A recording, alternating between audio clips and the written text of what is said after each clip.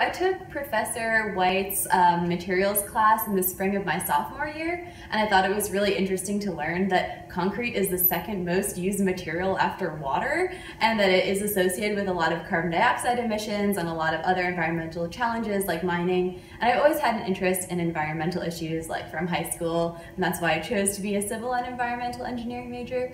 So I think her class really spoke to me because it had such a direct connection to the environment um, through a really interesting civil engineering material. My name is Lindsey Conlan, and I'm class of 2018, so I'll be a senior in the fall, and I'm in the Civil and Environmental Engineering Department.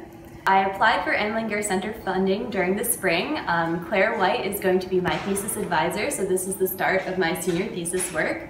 And I'm looking at recycled concrete aggregate, so I'm trying a new treatment method using acid that comes from acid mine drainage, which is really prevalent in Pennsylvania and a big environmental problem, to hopefully treat recycled concrete aggregates that can be reused for structural purposes.